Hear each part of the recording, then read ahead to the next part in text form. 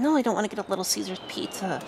All that weight will go right to my thighs. And what? That, that was a one-time thing, okay? Do not smoke We don't- in the terminal building. Smoking is only permitted in specified smoking areas.